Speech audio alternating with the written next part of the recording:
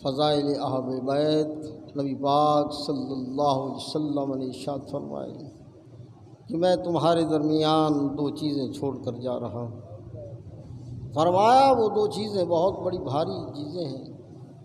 फरमाया, एक तो कुरान मजीद और दूसरा, इतराती मेरी अहल बैत। अगर इन दोनों को पकड़ोगे, फिर तुम कभी गुमराह नहीं हो सकोगे।